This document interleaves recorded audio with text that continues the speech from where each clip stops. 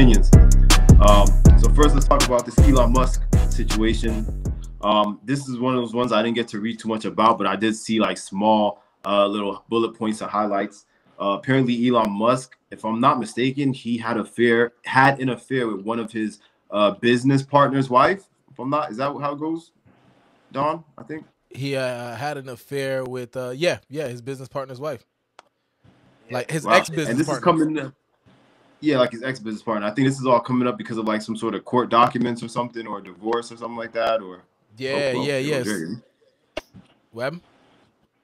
So just like Dre's gone on my end. I don't know. He look like he's still here to me.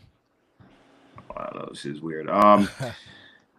it's, it's doing yeah, that thing. Um. So so.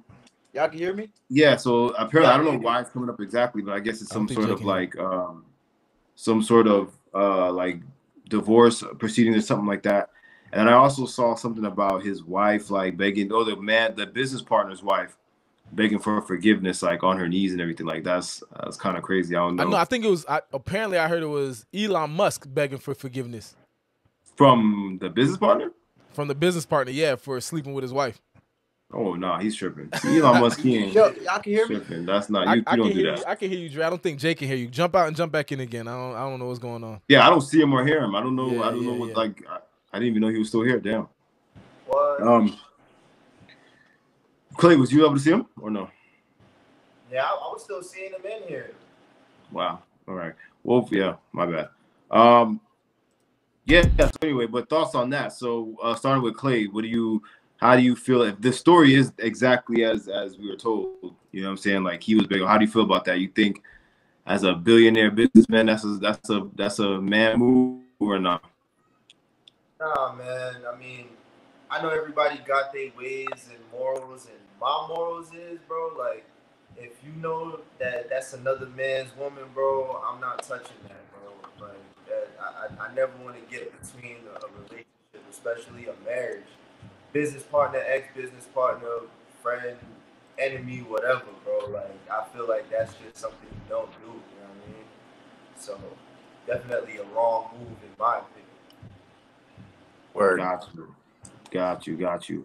And um, but I mean, another thing that was making me think about is like I know you know like in the media. I don't know if you guys saw this whole thing that was going on at the time. I think we spoke about it about how Elon Musk was like buying Twitter and they were in negotiations, but it seemed like that whole apparently now Twitter's suing him for backing out of the deal or something like that. Like, yeah, y'all think it was on?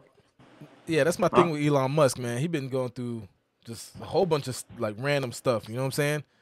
And just be looking, making him look crazy. Right. So, I don't know. I mean, who knows? It, it, could be a publicity stunt to make crypto numbers go down because he wants another title win. Right.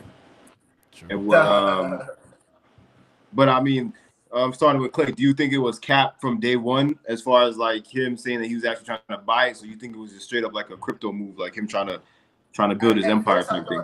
At first, I thought he was trolling to just try to get more, you know, publicity. Like I said, in terms of trying to boost, you know, crypto numbers and stuff. But then the, to actually see that the deal officially went through, I'm just like, damn.